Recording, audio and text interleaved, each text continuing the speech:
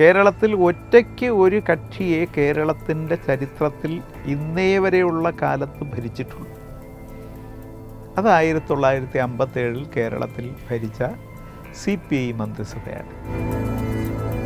ഇപ്പോൾ ഒരു മുതലാളിത്ത രാജ്യത്തിനകത്ത് അതിന്റെ സ്വഭാവത്തിനെതിരായി മിനിമം ചലിക്കാൻ മാത്രമുള്ള അവകാശത്തോടു കൂടിയാണ് കമ്മ്യൂണിസ്റ്റ് പാർട്ടി കേരളത്തിൽ ബാലറ്റ് പെട്ടിയിലൂടെ അധികാരത്തിലെത്തി ഭരിക്കുന്നത്. ജന്മിത്വ മൂല്യങ്ങളോട് ഏറ്റുമുട്ടിയ പോരാട്ടത്തിന്റെ കഥകളാണ് കമ്മ്യൂണിസ്റ്റ് പാർട്ടിയുടെ കേരളത്തിന്റെ വളർച്ചയുടെ കഥകൾ മുഴുവൻ.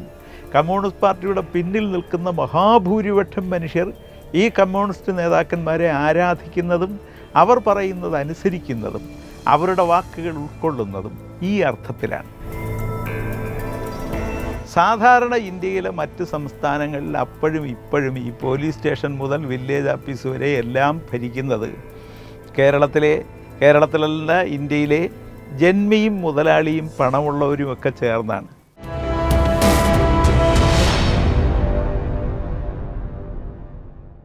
ആയിരത്തി തൊള്ളായിരത്തി അൻപത്തി ഏഴ് ഏപ്രിൽ അഞ്ചാം തീയതിയാണ്.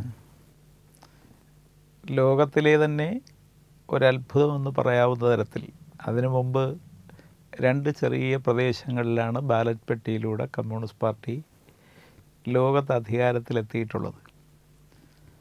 എന്നാൽ ഒരു വലിയ പ്രദേശത്ത് ഒരു സംസ്ഥാനത്തിന്റെ നിയമ പ്രത്യേകതകൾക്കകത്ത് സമ്പൂർണാധികാരത്തോടുകൂടി അധികാരത്തിലെത്തുന്നത് അമ്പത്തേഴ് ഏപ്രിൽ അഞ്ചാം തീയതി സഖാവി എം എസ് മുഖ്യമന്ത്രിയായി പതിനൊന്ന് അംഗങ്ങളുള്ള ഒരു കമ്മ്യൂണിസ്റ്റ് മന്ത്രിസഭ കേരളത്തിൽ സത്യപ്രതിജ്ഞ ചെയ്ത അധികാരമേൽക്കുമ്പോഴാണ്. ആ മന്ത്രിസഭയ്ക്ക് അതുകൊണ്ട് തന്നെ പലവിധ പ്രശ്നങ്ങൾ അഭിമുഖീകരിക്കേണ്ടി വന്നു.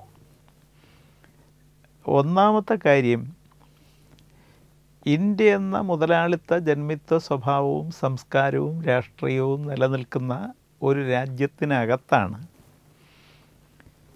ഈ മന്ത്രിസഭ പ്രവർത്തിക്കേണ്ടത്.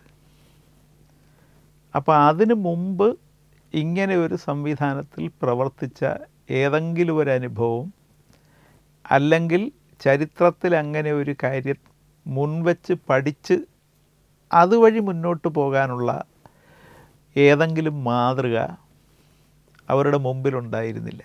പ്രായേണ അവർക്കെല്ലാം ഉണ്ടായിരുന്ന ഒരു കാര്യം സാമൂഹ്യ ജീവിതത്തിന്റെ ത്യാഗപൂർണമായ ഒരു രാഷ്ട്രീയ അനുഭവം മാത്രമാണ്. പിന്നെ ലോകത്തെക്കുറിച്ചുള്ള ചരിത്രത്തെക്കുറിച്ചുള്ള അറിവ്. പ്രായണ പ്രായം കുറഞ്ഞവരായിരുന്നു. ആ സഭയിലെ തന്നെ മനുഷ്യരിൽ മഹാഭൂരിപക്ഷം. പ്രതിപക്ഷവും വളരെ ശക്തമായിരുന്നു. പട്ടം താണുപിള്ളയെ പോലുള്ളവർ കോൺഗ്രസിന്റെ മറ്റൊരുപാട് നേതാക്കന്മാർ അവരെല്ലാം ചേർന്ന സജീവമായ കേരളത്തിലെ ഇടത്തരക്കാരുടെയും ജന്മിമാരുടെയും മുതലാളിമാരുടെയും ജനാധിപത്യ താല്പര്യങ്ങളെല്ലാം സംരക്ഷിക്കാൻ തക്ക കരുത്തുള്ള ഒരു പ്രതിപക്ഷമാണ് ഉണ്ടായിരുന്നത്. നൂറ്റി ഇരുപത്തിയാറ് അംഗസഭയിൽ കമ്മ്യൂണിസ്റ്റ് പാർട്ടിക്ക് മാത്രം ജയിച്ചു വന്നത് അരിവാൾ നെൽക്കതിരടയാളത്തിൽ മത്സരിച്ച് ജയിച്ചു വന്നത് അറുപത് പേരാണ്. പതിനെട്ട് സ്വതന്ത്രന്മാരെയാണ് കമ്മ്യൂണിസ്റ്റ് പാർട്ടി മത്സരിപ്പിച്ചത് അതിൽ അഞ്ച് പേരും ജയിച്ചു. അങ്ങനെ നൂറ്റി ഇരുപത്തി ആറിൽ അറുപത്തിയഞ്ച്. അതൊരു കേവല ഭൂരിപക്ഷമാണ്. ആ കേവല ഭൂരിപക്ഷം ഉള്ള കേരളത്തിൽ ഒരു പാർട്ടിയുടെ ഒരേ ഒരു മന്ത്രിസഭ അതാണ്. കേരളത്തിൽ ഒറ്റയ്ക്ക് ഒരു കക്ഷിയെ കേരളത്തിന്റെ ചരിത്രത്തിൽ ഇന്നേ വരെയുള്ള കാലത്ത് ഭരിച്ചിട്ടുള്ളൂ. അത് ആയിരത്തി തൊള്ളായിരത്തി അമ്പത്തേഴിൽ കേരളത്തിൽ ഭരിച്ച സി പി ഐ മന്ത്രിസഭയാണ്. അത് കഴിഞ്ഞ് പിന്നുണ്ടായ സംഭവങ്ങളെല്ലാം കേരളം ഒരു മുന്നണി സംവിധാനത്തിലേക്കാണ് പോയത്. ആ മുന്നണി സംവിധാനത്തിലേക്ക് പോയതിന്റെ കാരണം ഈ കമ്മ്യൂണിസ്റ്റ് പാർട്ടിയെ നേരിടുന്നതിനുള്ള ഒരു രാഷ്ട്രീയം രൂപപ്പെടുത്താൻ അന്നത്തെ പ്രധാന പ്രതിപക്ഷമായിരുന്ന കോൺഗ്രസ്സിന് കഴിയാത്തത് കൊണ്ട് വന്നു ചേർന്നതാണ്. അത് പിന്നാലെ പറയാം. കമ്മ്യൂണിസ്റ്റ് പാർട്ടി തന്നെ നേരിട്ട ഏറ്റവും പ്രധാനപ്പെട്ട കാര്യം ഭരിക്കാനുള്ള ഒരു മാതൃക പ്രത്യേകിച്ച് ഒരു മുതലാളിത്ത സംവിധാനത്തിനകത്ത് ഇതൊരമ്മയുടെ വയറ്റിൽ ഒരു കുഞ്ഞ് കിടക്കുന്ന പോലെയാണ്. അമ്മയുടെ വയറ്റിൽ കിടക്കുന്ന ഒരു കുഞ്ഞിന് അമ്മയുടെ ചലനങ്ങളെ നിയന്ത്രിക്കാനൊക്കെയല്ല? അമ്മയുടെ ചലനങ്ങൾക്കനുസരിച്ചേ പോകാൻ കഴിയൂ. എന്നാൽ ആ കുഞ്ഞിന് ഒരുപാട് ഇടതുപക്ഷ സ്വഭാവം ഉണ്ടെങ്കിൽ അമ്മയുടെ വയറ്റിനകത്താണെങ്കിലും അല്പം ഇടത്തോട്ട് ചലിക്കാം. അല്പം ഇടത്തോട്ട് അമ്മയ്ക്കിഷ്ടമില്ലാതെ ചലിച്ചാൽ അമ്മ അതിന്റെ വേദന അനുഭവിക്കണം. കുഞ്ഞതിന്റെ സ്വാഭാവികമായ അന്തസ്സും അഭിമാനവും കുഞ്ഞിന് ഉണ്ടെന്ന് കുഞ്ഞിന് അഹങ്കാരം കൊള്ളാം അല്ലെങ്കിൽ അഭിമാനിക്കാം. അപ്പോൾ ഒരു മുതലാളിത്ത രാജ്യത്തിനകത്ത് അതിന്റെ സ്വഭാവത്തിനെതിരായി മിനിമം ചലിക്കാൻ മാത്രമുള്ള അവകാശത്തോടു കൂടിയാണ് കമ്മ്യൂണിസ്റ്റ് പാർട്ടി കേരളത്തിൽ ബാലറ്റ് പെട്ടിയിലൂടെ അധികാരത്തിലെത്തി ഭരിക്കുന്നത്. ഇത് കമ്മ്യൂണിസ്റ്റ് പാർട്ടിക്കും ബോധ്യമായിരുന്നു. കമ്മ്യൂണിസ്റ്റ് പാർട്ടിയെ അധികാരത്തിലെത്തിച്ച ജനങ്ങളുടെ താല്പര്യമുണ്ട്. അപ്പോൾ കമ്മ്യൂണിസ്റ്റ് പാർട്ടിക്ക് സ്വന്തം അധികാര അവകാശങ്ങൾ ഉപയോഗിച്ച് ആ താല്പര്യങ്ങൾ സംരക്ഷിക്കുകയും മുന്നോട്ട് കൊണ്ടുപോവുകയും ചെയ്യേണ്ടതുണ്ട്. തീർച്ചയായിട്ടും ഇതൊരു വലിയ പ്രതിസന്ധിയാണ്. ആ പ്രതിസന്ധി എത്രത്തോളം ഭംഗിയായിട്ടാണ് കമ്മ്യൂണിസ്റ്റ് പാർട്ടി ആദ്യം ഗവൺമെന്റ് രൂപീകരിച്ച് നടപ്പാക്കിയതെന്ന് പരിശോധിക്കുകയാണ്. ആ പരിശോധനയിലൂടെയാണ് അന്ന് തുടങ്ങി വെച്ച ചില കാര്യങ്ങളാണ് കേരളത്തിന്റെ വ്യത്യസ്തമായ ഭരണകാര്യങ്ങളായി പിന്നെ ഏത് ഗവൺമെന്റ് വന്നപ്പോഴും. കമ്മ്യൂണിസ്റ്റ് പാർട്ടി അല്ല കേരളത്തിൽ ഏറ്റവും കൂടുതൽ കാലമൊന്നും ഭരിച്ചത്. പക്ഷേ ആ തുടങ്ങി വെച്ച കാര്യങ്ങൾ കേരളത്തിന് ഒഴിവാക്കാൻ പറ്റാത്തതായി. അങ്ങനെയാണ് കേരളം ഇന്ത്യയിൽ നിന്ന് വേറിട്ടതായതും. കേരളത്തിലെ സമൂഹം ഇന്ത്യയിൽ നിന്ന് കുറച്ചൊക്കെ മാറി സഞ്ചരിക്കാനും ഒരുപക്ഷെ മുന്നിൽ നിൽക്കാനും ചില കാര്യങ്ങളിൽ മറ്റുള്ളവർക്ക് മാതൃകയാകാനും സാധിച്ചത്. അതിലൊരു പ്രധാനപ്പെട്ട കാര്യം വിദ്യാഭ്യാസമാണ്. വിദ്യാഭ്യാസത്തിന്റെ കാര്യത്തിൽ കമ്മ്യൂണിസ്റ്റ് പാർട്ടിക്ക് കടപ്പാട് കേരളത്തിലെ നവോത്ഥാന പ്രസ്ഥാനവുമായിട്ടാണ്. അത് മുൻവച്ച ദർശനങ്ങളുമായിട്ടാണ്. അത് മുന്നോട്ട് കൊണ്ടുപോകാൻ ശ്രമിച്ചത് വിദ്യാഭ്യാസ മേഖല തന്നെയാണ്. കേരളത്തിലെ കമ്മ്യൂണിസ്റ്റ് പാർട്ടിയുടെ ആയിരത്തി തൊള്ളായിരത്തി അൻപത്തി ഏഴിലെ മന്ത്രിസഭയിലെ വിദ്യാഭ്യാസ വകുപ്പ് മന്ത്രി സ്വതന്ത്രനായി ജനി ജയിച്ചു വന്ന് വിദ്യാഭ്യാസ മന്ത്രിയാവാൻ സർവതാ യോഗ്യനായ പ്രൊഫസർ ജോസഫ് മുണ്ടശ്ശേരി സാറായിരുന്നു. അദ്ദേഹം ചെയ്ത ഒരു കാര്യം ഒരു സമൂഹത്തെ മുന്നോട്ട് കൊണ്ടുപോകുന്നതിന് കേരളം തന്നെ മുന്നോട്ട് വന്ന് കമ്മ്യൂണിസ്റ്റ് പാർട്ടിക്ക് അധികാരം കിട്ടുന്നതിന് കാരണമായത് കേരളത്തിലെ വിദ്യാഭ്യാസമാണ്. അതിൽ കേരളത്തിലെ വായനശാലകളും ആ വായനശാലകൾ കേരളത്തിൽ സൃഷ്ടിച്ച ഒരു സർഗശേഷിയുണ്ട്. അതിന്റെ ജനാധിപത്യ വ്യാപനമുണ്ട്. അതുകൂടിയാണ് കേരളത്തിൽ കമ്മ്യൂണിസ്റ്റ് പാർട്ടി അധികാരത്തിലെത്തുന്നതിനുള്ള കാരണമായത്. ഗ്രാമങ്ങളിൽ പോലും കേരളത്തിൽ വായനശാലകളും വായനാശീലവും അതിന്റെ സംവാദങ്ങളും ചർച്ചകളും ഒക്കെ നടന്നത് തീർച്ചയായിട്ടും ഒരു ഇടതുപക്ഷ മാനവികത കേരളത്തിൽ പരക്കുന്നതിനും അത് കേരളത്തിൽ കേരളത്തിന്റെ സ്വാഭാവികമായ മാനവിക അന്തസ്സ് വർദ്ധിപ്പിക്കുന്നതിനും കാരണമായിരുന്നു. അതുകൊണ്ട് തന്നെ വിദ്യാഭ്യാസത്തിൽ ജനകീയമായ ചില ചലനങ്ങൾ ഉണ്ടാക്കുക കമ്മ്യൂണിസ്റ്റ് പാർട്ടിയുടെ ഉത്തരവാദിത്വമായി. ജോസഫ് മുണ്ടശ്ശേരി സാറാണ് അത് കൃത്യമായി നിർവഹിച്ചത്. അതിന് കേരളത്തിലെ പൊതുസമൂഹം വലിയ തരത്തിൽ പിന്തുണ കൊടുക്കുകയായിരുന്നു. അതിന്റെ എല്ലാ വിശദാംശങ്ങളും പറഞ്ഞു പോവുകയല്ല. അതായത് അറിവിന്റെ ഒരു കെട്ടഴിച്ചു വിടലുണ്ടായാൽ ഒരു സമൂഹം അത് ഏറ്റുവാങ്ങാൻ കേരളത്തിൽ തയ്യാറായിരുന്നു. ഇത് ഇതുപോലെ തന്നെ മധ്യപ്രദേശിൽ സംഭവിച്ചാൽ ഒരുപക്ഷെ ആ സമൂഹം അങ്ങനെ ഏറ്റുവാങ്ങുകയല്ല കാരണം കേരളത്തിൽ അതിന്റെ ഒരു അന്തരീക്ഷം ഉണ്ടായിരുന്നു. ആ അന്തരീക്ഷത്തിൽ വന്ന ഒരു പ്രസ്ഥാനത്തിന് ഒരു ഭരണകൂടത്തിന് അത് സ്വാഭാവികമായി അതിനെ നയിക്കുക അതിനെ വളർത്തുക അതൊരു ഉത്തരവാദിത്വമായി. ആ ഉത്തരവാദിത്വമാണ് കൃത്യമായി നിർവഹിച്ചത്. അങ്ങനെയാണ് കേരളത്തിൽ പരക്ക സ്കൂളുണ്ടായി. കുട്ടികളെല്ലാം സ്കൂളിലെത്താൻ തുടങ്ങി. അതിനു മുമ്പ് എസ് എൻ ഡി പി ആണെങ്കിലും സാധു ജലപരിപാലന യോഗമാണെങ്കിലും എൻ എസ് എസ് ആണെങ്കിലും മറ്റ് സംഘടനകളാണെങ്കിലും വിദ്യാഭ്യാസത്തിലേക്ക് പതുക്കെ വന്നിരുന്നത് എല്ലാവർക്കും വിദ്യാഭ്യാസത്തിലേക്ക് എത്തിച്ചേരാനുള്ള വഴിയൊരുക്കം നടത്തുക. അതിന് തടസ്സമായി നിന്ന സംവിധാനങ്ങളെ. ഏതെങ്കിലും വിഭാഗത്തിന്റെ താല്പര്യങ്ങൾക്കകത്ത് കുടുങ്ങിക്കിടക്കുന്ന എല്ലാ സംവിധാനങ്ങളെയും ഇല്ലാതാക്കുക. ജനകീയവൽക്കരിക്കപ്പെട്ട ഒരു വിദ്യാഭ്യാസം.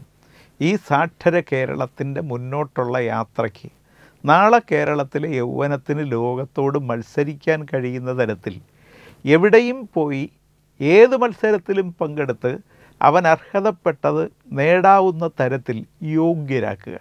ഇത് തീർച്ചയായിട്ടും അമ്പത്തേഴിൽ അമ്പത്തിയേഴിലെ കമ്മ്യൂണിസ്റ്റ് ഗവൺമെന്റ് ചെയ്ത.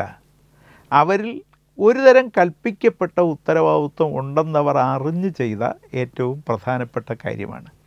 അതിലൂടെ കേരളത്തിൽ അറിവ് നേടുമ്പോൾ യൗവനത്തിന് വീട്ടുകാർക്ക് നാട്ടുകാർക്ക് ഉണ്ടാകുന്ന ഒരു അന്തസ്സുണ്ട്. ഒരു അഡ്രസ്സുണ്ട്. അത് തീർച്ചയായിട്ടും നേടിക്കൊടുക്കാൻ ആ ഗവൺമെന്റ് പരമാവധി പരിശ്രമിച്ചു. രണ്ടാമത്തെ കാര്യം ഇന്ത്യൻ ഭരണഘടനയും അതിന്റെ പ്രത്യേകതയും ഒക്കെ അനുസരിച്ച് ഭൂമിയുടെ അവകാശി സംസ്ഥാന ഗവൺമെന്റാണ്. കേരളത്തിൽ തീർച്ചയായിട്ടും ജന്മിത്തം ഉണ്ടായിരുന്നു. ജന്മിത്വം ചിലയിടങ്ങളിൽ ക്രൂരമായ തരത്തിലുണ്ടായിരുന്നു. കേരളത്തിലെ കമ്മ്യൂണിസ്റ്റ് പാർട്ടിയുടെ തന്നെ പോരാട്ടങ്ങളുടെ ഒരു വലിയ പ്രത്യേകത അതിൽ മഹാഭൂരിപക്ഷവും ജന്മിത്വത്തിനെതിരായ പോരാട്ടവും അതിന്റെ സാഹസികതയും അതിന്റെ രക്തസാക്ഷിത്വവുമാണ്.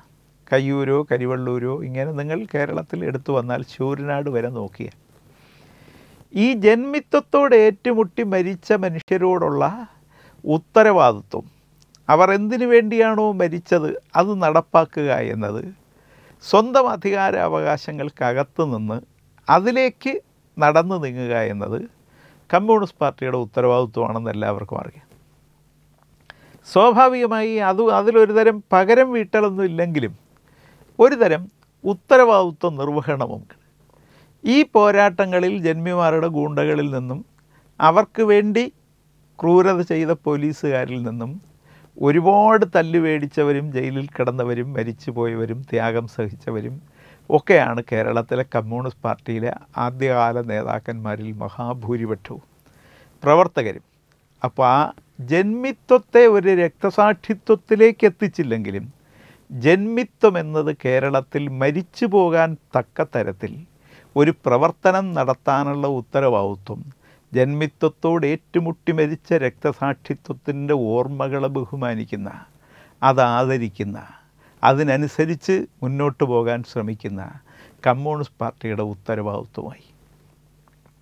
തീർച്ചയായിട്ടും വിദ്യാഭ്യാസ ബില്ലുമായി ബന്ധപ്പെട്ട് ഉണ്ടാകുന്നതിനേക്കാൾ കൂടുതൽ എതിർപ്പ് ഈ കാര്യവുമായി ബന്ധപ്പെട്ടുണ്ടാവുമെന്ന് കമ്മ്യൂണിസ്റ്റ് പാർട്ടിക്ക് അറിയാമായിരുന്നു.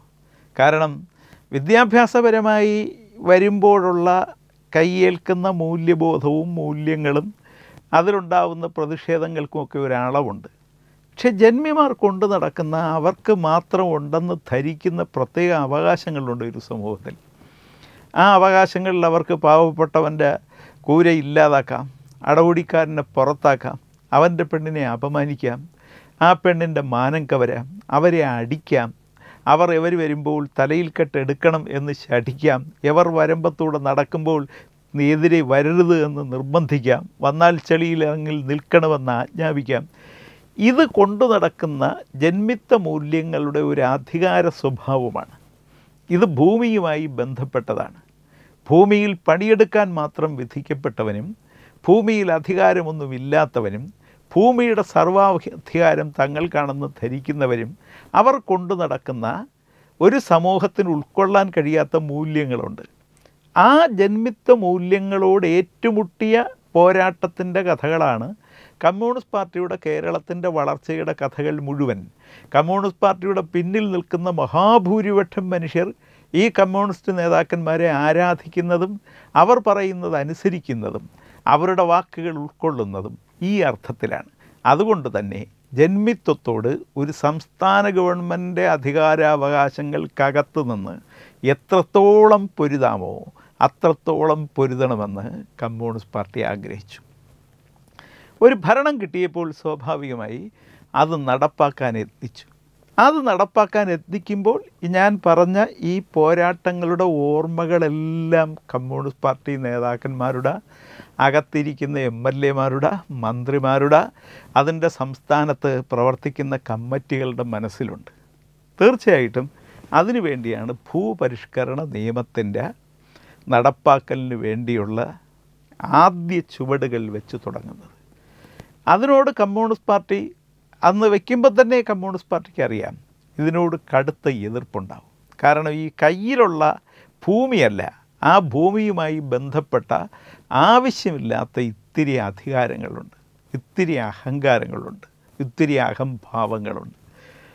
അതിറക്കി വയ്ക്കാൻ മിക്കവാറും മനുഷ്യർക്ക് ഇഷ്ടമാവുകയില്ല ഇഷ്ടമായ കുറച്ച് പേർ കേരളത്തിലുണ്ടായിരുന്നു എന്നുള്ളത് വേറെ കാര്യം. അത് കേരളത്തിന്റെ പൊതുബോധത്തിൽ വന്ന ഒരു നന്മയാണ്. പക്ഷേ ഒരുപാട് പേർക്ക് ഇഷ്ടമാവുകയില്ല ആ ഇഷ്ടമല്ലാത്തവർ സ്വാഭാവികമായി അവരുടെ എതിർപ്പ് പലതരത്തിൽ പ്രകടിപ്പിക്കും.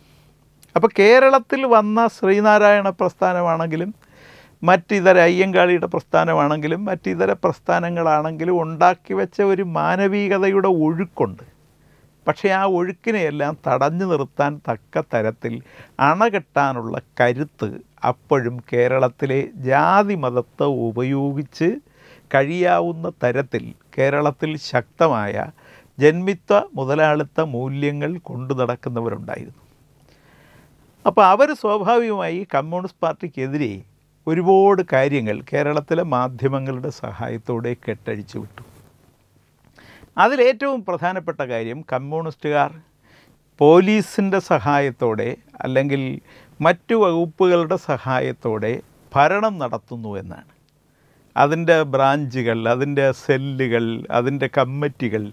സത്യത്തിൽ അത് സത്യം പരിശോധിച്ച് വരുമ്പം ചെറിയ അംശത്തിൽ ചിലയിടത്ത് വേണമെങ്കിൽ പറയാൻ ഒരു കഥയൊക്കെ കാണുമെങ്കിലും സാധാരണ ഇന്ത്യയിലെ മറ്റ് സംസ്ഥാനങ്ങളിൽ അപ്പോഴും ഇപ്പോഴും ഈ പോലീസ് സ്റ്റേഷൻ മുതൽ വില്ലേജ് ഓഫീസ് വരെ എല്ലാം ഭരിക്കുന്നത്.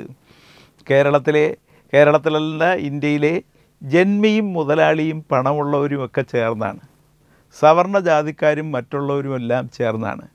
കേരളത്തിൽ ഈ പോലീസിന്റെ നിയന്ത്രണം ജന്മിക്ക് നഷ്ടമായപ്പോൾ അതുവരെ അവർക്കായിരുന്നു നിയന്ത്രണം. അതുവരെ വില്ലേജ് ഓഫീസുകളുടെ നിയന്ത്രണം അവർക്കായിരുന്നു. നഷ്ടമായപ്പോൾ സംഭവിച്ചത് കമ്മ്യൂണിസ്റ്റുകാർ ഭരിക്കുന്നത് കൊണ്ട് കമ്മ്യൂണിസ്റ്റുകാർ സർവതും ഭരിക്കുന്നു എന്ന ഒരു പ്രതീതി ഉണ്ടാക്കുകയാണ്. അപ്പോൾ പോലീസിനെ ഭരിക്കാൻ സത്യത്തിൽ കമ്മ്യൂണിസ്റ്റ് പാർട്ടി ചെയ്തത് പോലീസിനെ സ്വതന്ത്രമാക്കുകയാണ്. പോലീസുകാർ തൊഴിലാളിക്കും കർഷക തൊഴിലാളിക്കും സാധാരണ മനുഷ്യനും എതിരായി നിൽക്കേണ്ട ഒരു ഭരണമർദ്ദക വിഭാഗമല്ല എന്ന് പ്രഖ്യാപിക്കലാണ്. പക്ഷേ പ്രചരണം വന്നത് കമ്മ്യൂണിസ്റ്റ് പാർട്ടി പോലീസ് സ്റ്റേഷൻ ഭരിക്കുന്നെന്നാണ്. അപ്പോൾ ഇതിനെയെല്ലാം കമ്മ്യൂണിസ്റ്റ് പാർട്ടിക്ക് നേരിടേണ്ടി വന്നു. ജനാധിപത്യപരമായി തന്നെ നേരിടേണ്ടി വന്നു. പക്ഷേ കമ്മ്യൂണിസ്റ്റുകാർക്കെതിരായ പ്രചരണം സ്വാഭാവികമായി ലോകത്തും ഇന്ത്യയിൽ കേരളം ഒഴിച്ചുള്ള പ്രദേശത്തും ഈ കേരളത്തിൽ കമ്മ്യൂണിസ്റ്റ് പാർട്ടി അധികാരത്തിൽ വന്ന് ഇത് നാളെ ഇന്ത്യയിലും ലോകത്തുമെല്ലാം അധികാരത്തിലെത്താവുന്ന ഒരു സാധ്യതയാണെന്ന് ഒരു ഭീഷണിയാണെന്നുള്ള വിചാരവും. അതിനുവേണ്ടി അമേരിക്ക ഉൾപ്പെടെ അല്ലെങ്കിൽ ലോകത്തിലെ സാമ്രാജ്യത്വ രാജ്യങ്ങൾ ഉൾപ്പെടെ ഇങ്ങനെ ഒന്നിനെ ഇല്ലാതാക്കാനുള്ള വലിയ ശ്രമങ്ങളിൽ പലതരത്തിൽ പങ്കുചേർന്നിരുന്നു.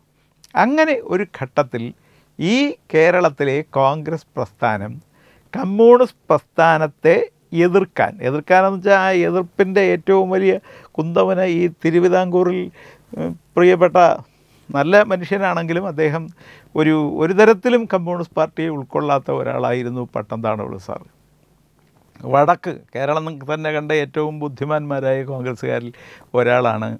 ഈ കേരളത്തിലെ മധ്യ കേരളത്തിന്റെ എല്ലാ കാലത്തെയും കോൺഗ്രസ് നേതാക്കന്മാരിൽ ഏറ്റവും മുന്നിൽ നിന്ന പനമ്പള്ളി. പനമ്പള്ളിയുടെ ആ കാലത്തെ ഒരു ഒരു സംഭവം പറയുന്നുണ്ട്. അദ്ദേഹം ആയിരത്തി തൊള്ളായിരത്തി അൻപത്തി ഏഴിൽ കമ്മ്യൂണിസ്റ്റ് പാർട്ടി അധികാരത്തിലെത്തുമ്പോൾ ഈ കമ്മ്യൂണിസ്റ്റ് പാർട്ടി ജയിച്ചില്ല എന്ന് വരുത്താൻ കണക്കുകൾ ഒരുപാട് രാഷ്ട്രീയ കാര്യങ്ങൾ പറഞ്ഞ ആളുകളെ കൺവിൻസ് ചെയ്യിപ്പിക്കാൻ മിടുക്കനായിരുന്നു പനമ്പള്ളി ഗോവിന്ദമേനോൻ. അദ്ദേഹം അത്ര ബുദ്ധിമാനായ അത്ര സർഗ പ്രക്രിയ കൂടി സ്വായത്തമാക്കിയ ഒരു കോൺഗ്രസ് നേതാവാണ്. അദ്ദേഹം കണക്കുകൾ കൊണ്ട് പറഞ്ഞു കമ്മ്യൂണിസ്റ്റ് പാർട്ടിക്ക് കിട്ടിയത് നാൽപ്പത് ശതമാനത്തിലും താഴെ വോട്ടാണ്. അപ്പോൾ മറ്റുള്ളവർ കൂടാതെ നിന്നതുകൊണ്ട് ചെറുതായ കമ്മ്യൂണിസ്റ്റ് പാർട്ടി ഈ കൊച്ചു കേരളം ഭരിക്കാനിടയായി. അത് ഒരു ചെറിയ കോൺഗ്രസ് പിഴവാണ് എന്നെല്ലാം പറഞ്ഞ് അദ്ദേഹം കേരളത്തിൽ വലിയ പ്രചരണം നടത്തി. ആ പ്രചരണം നടത്തുന്ന കാലത്ത് അതിനൊരു തമാശ കഥയിലൂടെ വടക്കൻ കേരളത്തിൽ ഒരുപാട് വേദികളിൽ മറുപടി പറഞ്ഞത് കമ്മ്യൂണിസ്റ്റ് പാർട്ടി നേതാവായ സഖാവ് പി ആർ നമ്പ്യാറാണ്. അപ്പോൾ പി ആർ നമ്പ്യാർ അതിന് മറുപടി പറഞ്ഞത് ഈ കോഴിക്കോട് ജില്ലയിൽ പ്രത്യേകിച്ച് വടകര പി ആറിന്റെയൊക്കെ സ്ഥലത്ത് ഏറ്റവും കൂടുതലുള്ള ഒരു വൃക്ഷം തെങ്ങാണ്. അപ്പോൾ എല്ലാവരും തെങ്ങ് കയറാൻ അറിയാവുന്നവരും തേങ്ങ കൊണ്ട് ജീവിക്കുകയും പിന്നെ അത്യാവശ്യമുള്ളത് നെൽ നെല്ലാണ്. ഇപ്പോഴും കേരളത്തിലെ ഏറ്റവും കൂടുതൽ തെങ്ങുള്ള ജില്ല കോഴിക്കോടാണ്. അപ്പോൾ പി ആർ പറഞ്ഞത് ഒരു മനുഷ്യനിങ്ങനെ ഒരുപാട് പൊക്കമുള്ള ഒരു തെങ്ങിൽ അതിന്റെ മണ്ടയിൽ ഇത്തിരി തേങ്ങയുള്ളൂ മൂന്നാം നാല് തേങ്ങയുള്ളൂ. ഇദ്ദേഹം വളരെ പാടുപെട്ട് ഈ തെങ്ങിൽ കയറി. തെങ്ങിൽ കയറി മുകളിലെത്തിയപ്പോൾ ഇദ്ദേഹം മുകളിലിരിക്കുന്നത് കണ്ട് ഈ താഴെ നിന്ന് ഒരാൾ ചോദിച്ചു എടാ ആകെ രണ്ടുമൂന്ന് തേങ്ങയേ ഉള്ളൂ. നീ എന്തിനാ ഇത്ര പാടുപെട്ട് ഇത്ര കൊന്നയായി ഈ തെങ്ങിൽ കയറിയതെന്ന്? അപ്പോൾ അയാൾ പറഞ്ഞു കയറിയത് തന്നെ ഒരുപാട് ക്ഷീണമായി. പക്ഷേ ഇവിടെ വന്ന് നോക്കിയപ്പോഴാണ് കണ്ടത് തേങ്ങ അധികം ഇല്ല. പിന്നെ ഒരു കരിക്ക് നോക്കാമെന്ന് വെച്ചാൽ കരിക്കുമില്ല. ആകെ മൊത്തം രണ്ട് മൂന്നേ ഉള്ളൂ. ഇനിയിപ്പോൾ എന്ത് ചെയ്യും? അപ്പോൾ ഈ താഴെ നിന്നയാൾ പറഞ്ഞു നീ ഇങ്ങി ഇറങ്ങി വാന്ന്. അപ്പോൾ ഇദ്ദേഹം പറഞ്ഞു ഇറങ്ങുന്നത് എങ്ങനെ ഇനി? കയറിയതിന്റെ പാട് എനിക്കറിയാം. ഇനി ഇറങ്ങണമെങ്കിൽ ഇറങ്ങുന്ന പാടെന്താ? അപ്പോൾ ഈ താഴെ നിന്നയാൾ പറഞ്ഞു പിന്നെന്തോ ചെയ്യും. അപ്പോൾ അദ്ദേഹം പറഞ്ഞു ഞാൻ ആലോചിക്കുന്നത് ഇവിടെ നിന്ന് വീഴാനാണ്. താഴോട്ടങ്ങ് വന്നാൽ ഈ കാറ്റൊക്കെ ഉള്ളത് കൊണ്ട് നല്ല സുഖമായിരിക്കുമെന്ന് പറഞ്ഞു. അപ്പം ഈ താഴെ നിന്നയാൾ പറഞ്ഞു താഴെ വരുന്നതിൽ കുഴപ്പമില്ല. ചിലപ്പം പരിക്ക് പറ്റാൻ സാധ്യതയുണ്ടെന്ന്. അപ്പോൾ അയാൾ പറഞ്ഞു ഇല്ല അയാൾ കൈവിട്ടു. കൈവിട്ട് ഈ ആദ്യം നല്ല സുഖമായിരുന്നു ഒരു മൂന്നാൽ നിമിഷം. കാരണം ഈ കാറ്റ് വരുമ്പം കൈ വയ്ക്കുമ്പം ശരീരത്തിനൊരു തണുപ്പ് കിട്ടും. അപ്പോൾ പക്ഷേ താഴെ വന്ന് തറയിൽ വീണ് നടുവൊടിഞ്ഞ് അദ്ദേഹം ഹോസ്പിറ്റലിൽ പല ദിവസം കിടന്നു. കിടന്നപ്പോൾ അദ്ദേഹത്തോട് ഡോക്ടർ ചോദിച്ചു എന്തിനാ ഈ അബദ്ധം കാണിച്ചതെന്ന്? ഒന്ന് ഇത്രയും വലിയ കൊന്നത്തെങ്കിൽ കയറിയത് തെറ്റ്.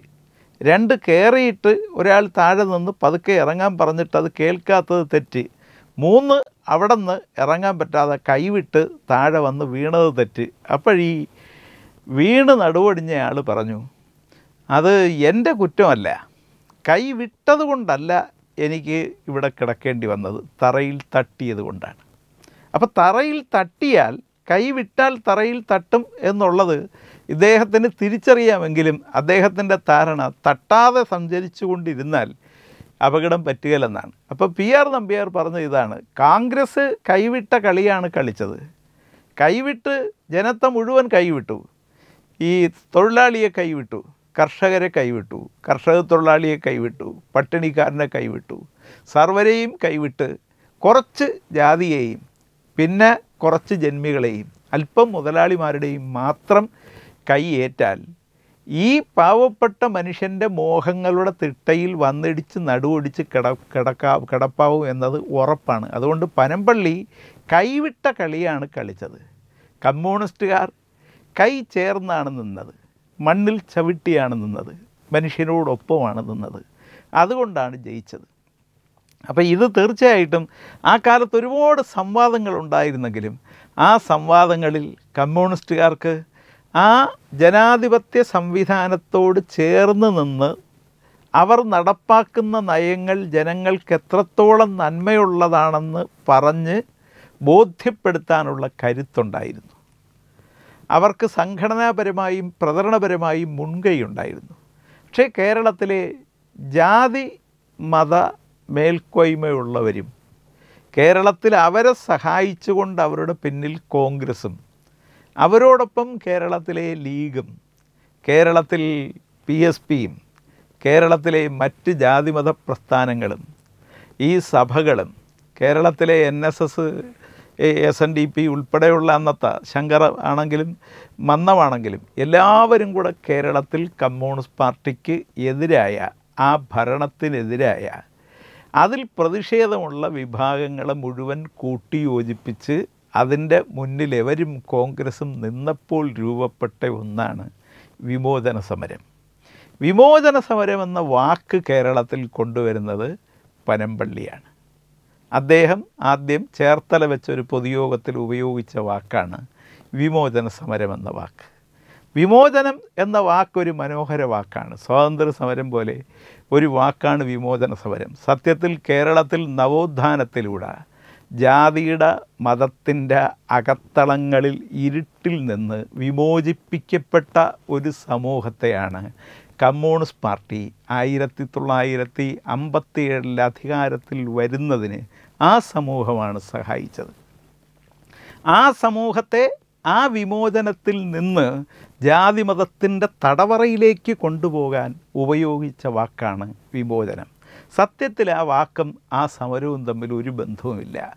ആ വാക്ക് സത്യത്തിൽ വിമോചിപ്പിക്കപ്പെട്ട ഒരു കേരളത്തിൽ ആ വിമോചിപ്പിക്കപ്പെട്ട കേരളത്തെ ജന്മിത്വത്തിൽ നിന്നും അറിവില്ലായ്മയിൽ നിന്നും കൂടുതൽ വിമോചിപ്പിക്കാൻ ശ്രമിച്ച ഒരു ഭരണമാണ് കമ്മ്യൂണിസ്റ്റ് ഭരണം. ആ കമ്മ്യൂണിസ്റ്റ് ഭരണത്തിൽ നിന്ന് വിമോചിപ്പിക്കുക എന്ന് പറഞ്ഞാൽ ജാതിയിലേക്കും ആ അറിവില്ലായ്മയിലേക്കും മാനാചാരങ്ങളിലേക്കും തിരിച്ചു കൊണ്ടുപോകാൻ ഒരു തടവറയിലെത്തിക്കാൻ വേണ്ടി ഉള്ള ഉപയോഗിച്ച ഒരു വാക്കാണ് വിമോചന സമരം ആ വാക്കും ആ സമരത്തിന്റെ ഉള്ളടക്കവും തമ്മിൽ ഒരു ബന്ധവുമില്ല. എന്നാലും കേരളത്തിലെ കമ്മ്യൂണിസ്റ്റ് പ്രസ്ഥാനത്തിനെതിരെ അത്തരം ഒരു വാക്ക് ഉപയോഗിച്ചാണ് കേരളത്തിൽ എല്ലാ ജാതിമത വിഭാഗങ്ങളും കോൺഗ്രസിന്റെയും പി എസ് പിയുടെയും ഒക്കെ പിന്നിൽ നിന്ന് ലീഗും കൂടെ പങ്കുചേർന്ന് കേരളത്തിൽ ഒരു തരത്തിൽ ഇരുട്ടിന്റെ ഒരു പുതിയ രാഷ്ട്രീയത്തിലേക്ക് കേരളത്തെ വഴിതിരിച്ചു വിടാനുള്ള യുദ്ധം കമ്മ്യൂണിസ്റ്റ് പാർട്ടിക്കെതിരെ ആരംഭിക്കുന്നത് അങ്ങനെയാണ്.